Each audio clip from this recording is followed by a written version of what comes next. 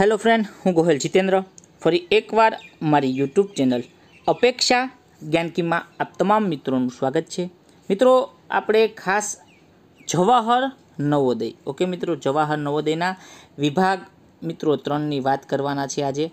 વિભાગ ત્રણ, જેમાં ભાષાના ફકરા પૂછાય છે. આજે આપણે ભાષાનો સાતમા નંબરનો ફકરો પહોંચ્યા છે. એ પણ મિત્રો અગાઉના વર્ષના પૂછાયેલો છે. ખાસ મિત્રો પચીસ માર્ક ભાષાના ફકરાના રોકડા છે. તો એ ફકરાના માર્ક માટે મારી કેવી તૈયારી હોવી જોઈએ? કેવા પ્રશ્ન પૂછાય છે? જો અગાઉના વર્ષના પ્રશ્નોના આધારે આપણે વિચારી શકીએ કે આપણે હજુ કેવી મહેનત કરવી પડશે. મિત્રો, ફકરા માટે આપણે દર વખતે પણ કહીએ છીએ, કઈ કઈ બાબતની તૈયારી કરવાની છે? પણ સાથે સાથે એ પણ થોડું આજે મારે તમને મેસેજ આપવો છે. મિત્રો યાદ રાખજો, જવાહર નવોદય. નવોદય માટે મિત્રો આપણે ટેસ્ટનું આયોજન કરેલું છે. મિત્રો યાદ રાખજો, ખાસ તમારા માટે આપણે ટેસ્ટનું આયોજન કરીએ છીએ. એક દિવસ મૂકીને એક દસ પ્રશ્નોની ટેસ્ટ મિત્રો જેમાં લેવામાં આવશે. ઓકે? તો તમે હજુ સુધી જો મારા ગ્રુપમાં ન જોડાના હોય તો વોટ્સઅપ ગ્રુપથી અમારી સાથે જોડાઈ જાજો. જેથી કરીને આ નંબર પર તમે મેસેજ કરી જિલ્લા વાઇઝ નવોદયના મિત્રો આપણે ગ્રુપ બનાવેલા છે. આ નંબર પર મેસેજ મને મોકલી, જેથી કરીને તમે ગ્રુપમાં જોડાઈ જાઓ.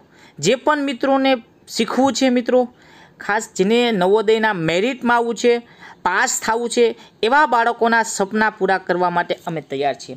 તમામ સાહિત્ય મિત્રો ફ્રી છે, કોઈ ચાર્જ લેવામાં આવતો નથી. એ પણ તમને ખાસ કહી દઉં છું ઓકે ટૂંક સમય માટે આપણે ટેસ્ટ બંધ કરી હતી, પણ કાલથી આપણે ચાલુ કરેલી છે. તો ચાર નંબરની ટેસ્ટ મિત્રો જે કોઈ બાકી હોય બાળકો હજુ આપી શકે છે. અને બીજે દિવસે આપણે એનું સોલ્યુશન પણ આપી દઈશું. અને મિત્રો બીજી પણ વાત કે ગણિતના વાત કરીએ તો ગણિત માટે આપણું પુષ્કળ એટલે ખૂબ જ એવું આયોજન છે. અત્યાર સુધી આપણે ગણિતના એકસો સિત્તેરથી વધુ મિત્રો વીડિયો અપલોડ કરી દીધા છે. જે કોઈ બાળકો નવા હોય જેને આગળ તૈયારી કરવી હોય, એ બાળકો પણ મારા જવાહર નવોદય. મિત્રો, યાદ રાખજો, નવોદયનું નવોદયનું આખું પ્લે લિસ્ટ છે. એ યુટ્યુબની અંદર પ્લે લિસ્ટમાં જઈ અને આપણા તમામ વીડિયો પડ્યા છે. ફ્રી છે, જોઈ શકે છે. ઓકે તો ખાસ એવા બાળકો માટે આજે સૂચના હતી કે થોડુંક તૈયારી ચાલુ રાખજો. સાથે પણ જોડાઈ જાઓ.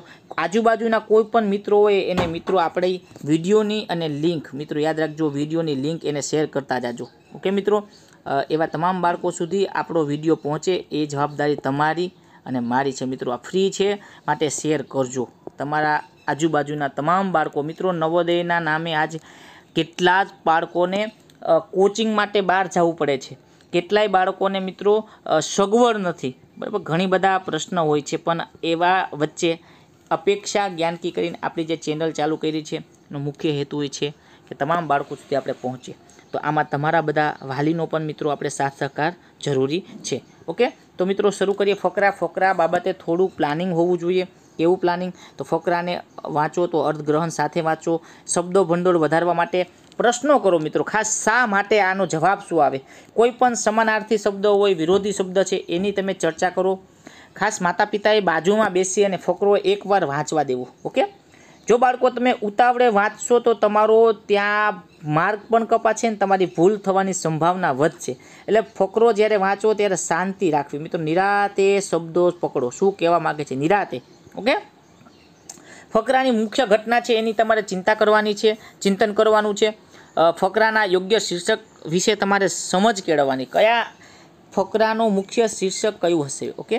અને પ્રશ્નોના જવાબ મિત્રો ફકરા આધારે આપવાના, ફકરામાં જ એના જવાબ તમને જોવા મળે છે. આટલી મિત્રો મારે તમને ખાસ સૂચના હતી ફકરાને ધ્યાનમાં રાખવા બાબતે. તો હવે આપણે મિત્રો શરૂ કરી દઈએ. આજનો ફકરો, ઓકે? આજનો ફકરો મિત્રો પૂછાયેલો છે. આની પહેલાં પણ મેં કીધું, અત્યારે પણ કહું છું, અગાઉના વર્ષના પૂછાયેલા જ આપણે ફકરાની તૈયારી કરીએ છીએ. તો સ્ટાર્ટ કરીએ. ફકરો શું કહેવા માગે છે?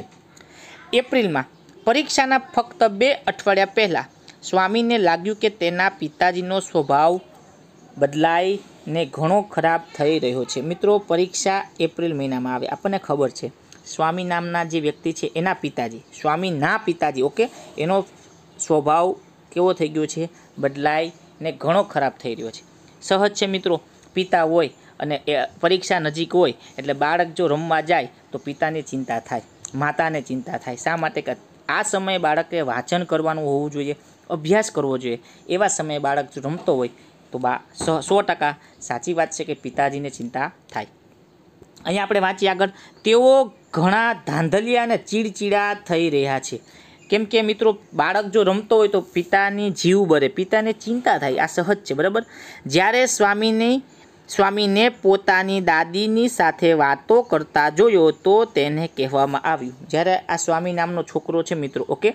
એ દાદી સાથે વાતો કરતો હતો ત્યારે તેને કહેવામાં, યાદ રાખ બેટા, પરીક્ષા આવી રહી છે. તારી દાદી રાહ જોઈ શકે છે, પરીક્ષા નહીં. જો મિત્રો આ શબ્દ કટાક્ષમાં છે, શું કહેવા માગે છે? એના પિતાજી ખાસ એમ કે છે કે, પરીક્ષા, દાદી છે મિત્રો, રાહ જોવે, પણ પરીક્ષા વહી જશે. મિત્રો, કોઈ વખત યાદ રાખજો. તમારા માટે પણ યાદ રાખજો. ધોરણ પાંચમાં તમે ભણી રહ્યા છો, ઓકે? તો તમે નવોદયની પરીક્ષા, જો તમે જલસા કરશો, જો તમે આમ કહેવાય મોજ મસ્તી કરશો, તો નવોદયના મેરિટમાં નહીં આવો. એટલે સમય આ તમારા માટે ઉત્તમ છે તૈયારી કરવા માટેનો, મિત્રો. આ લોકડાઉનનો જે સમય છે, ઉત્તમ છે. સમય તમારી રાહ નહીં જોવે. તો આનો ઉપયોગ મારે કેમ કરવો? ઓકે? અહીંયા પણ મિત્રો પિતાજીની વ્યથા એ જ છે કે દાદી રાહ જોઈ શકશે. પરીક્ષા પછી તું દાદી સાથે વાતો કર, અમને પ્રશ્ન નથી.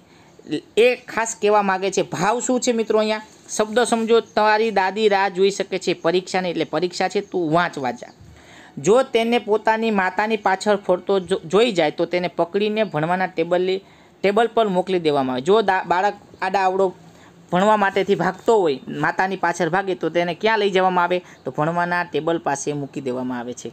ભણવાનું ટેબલ છે, ત્યાં બેસાડી દે કે ભાઈ વાંચ, હવે વાંચ, પરીક્ષા આવી રહી છે. આ એક મિત્રો પરીક્ષાને ધ્યાનમાં રાખીને પિતાની વ્યથા.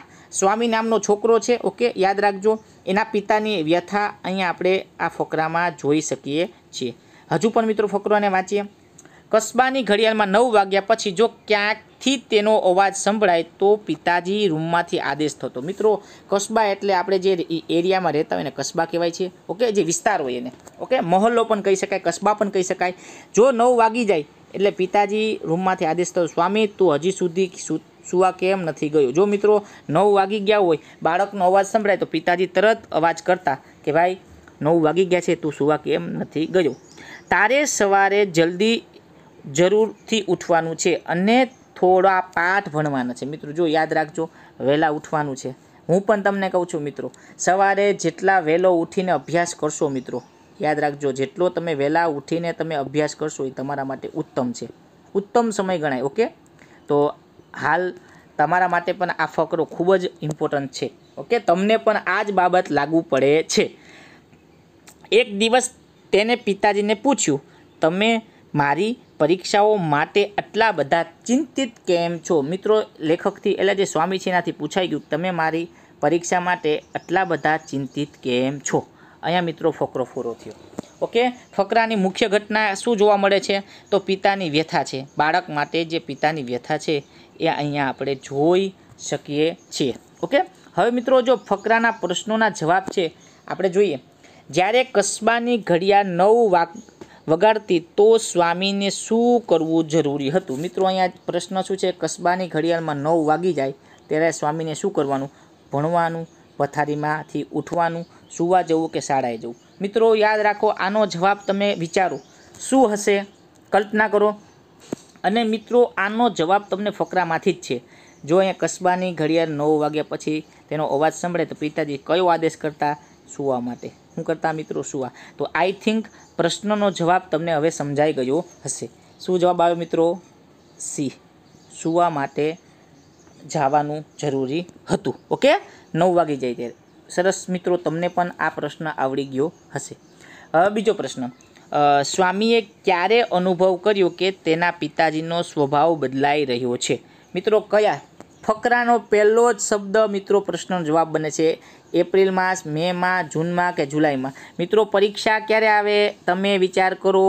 ત્યારે પિતાનો સ્વભાવ બદલાઈ ગયો તો એપ્રિલમાં શું જવાબ આવે? એપ્રિલમાં આનો પ્રશ્ન પણ મિત્રો આપણે જોઈ શકીએ છીએ. જો શરૂઆતની લીટી એપ્રિલ પહેલી જ લીટીના પહેલા જ શબ્દમાંથી મિત્રો પ્રશ્ન પૂછ્યો. તો બીજાનો જવાબ પણ તમને ક્યાંથી મળ્યો? ફકરામાંથી તમને મળે છે. ઓકે? ત્યાર પછી તેના પિતાજી કેવા થઈ ગયા? તો એના પછી મિત્રો તમે જોજો, તો તમને ફકરાની અંદર વાંચશો, તમે જોજો એના પિતાજી ખૂબ ખુશ અને સરળ છે, ઉદાસ અને ક્રોધિત છે. ક્રોધિત અને ધાંધલિયા છે કે ધાંધલિયા અને ચીડચીડા? તો મિત્રો આનો જવાબ તમે વિચારો તો જવાબ ડી આવે છે. કેમ કે એના પિતાજી કેવા થઈ ગયા છે? ધાંધલિયા અને ચીડચીડા. મિત્રો આનો ફકરાનો, આ પ્રશ્ન પણ તમને ફકરામાંથી મળે છે. જો તેઓ ઘણા ધાંધલિયા અને ચીડચીડા થઈ રહ્યા છે. જો મિત્રો એપ્રિલમાં આ એક આ એક પ્રશ્ન જવાબ નીકળ્યો. અહીંયા પણ આ પ્રશ્નનો જવાબ બીજો મળે છે. તો તમે કલ્પના કરો મિત્રો, જો તમે ધ્યાનથી ફકરાને વાંચો હશે મિત્રો, ઓકે? તો તમારે બહુ વિચારવાની પણ જરૂર નથી, ઓકે? આ પ્રશ્નનો જવાબ પણ તમને ફકરામાંથી મળશે. સ્વામીને જ્યારે તેની માતા પાછળ ફરતો જોયો, જોવામાં આવે, તો તેને ક્યાં મોકલવામાં આવતા મિત્રો? જો એની માતા પાછળ પાછળ જાતો છોકરો તો એને રસોડામાં ટેબલ પર પિતાજીના રૂમમાં કે સુવાના રૂમમાં? તો મિત્રો એને ટેબલ પર આપણે વાત કરી હતી આગળ ફકરામાં વાત કરી, એટલે ટેબલ પર એટલે જવાબ આવે છે બી મિત્રો ખાસ યાદ રાખજો બી એનો જવાબ આવે છે. ઓકે? ત્યાર પછી પાંચમો ફકરો. ફકરામાં આદેશનો અર્થ શું થાય? અહીંયા મિત્રો આદેશ, એટલે આદર કરવો. ઓકે? પેલો છે આદર કરવો. દંડ આપવો, પકડવો કે હુકમ આપવો? મિત્રો, આદેશ શબ્દનો અર્થ, કલ્પના કરો શું હશે તમારે મિત્રો વિચારવાનું છે. ઓકે? તમારે મિત્રો વિચારવાનું છે. ઓકે, સાચું મિત્રો, તમે જે વિચાર્યું એ સાચો છે. આ, આદેશનો અર્થ થાય હુકમ કરવો. ઓકે? આદેશનો અર્થ થાય હુકમ કરવો. હવે મિત્રો, તમને એક પ્રશ્ન. આ ફકરાના આધારે એક પેરેગ્રાફમાં મિત્રો આપેલું છે, તમે આગળ શરૂઆતના ફકરાની પહેલી લીટી વાંચશો એમાં લખ્યું છે કે એપ્રિલમાં પરીક્ષાના ફક્ત બે અઠવાડિયા પહેલાં. મિત્રો, બે અઠવાડિયા એટલે કેટલા દિવસ? ફકરાનો જવાબ તમારે મને આપવાનો છે, બે અઠવાડિયા. એટલે મિત્રો લખી લેજો ફરી વખત.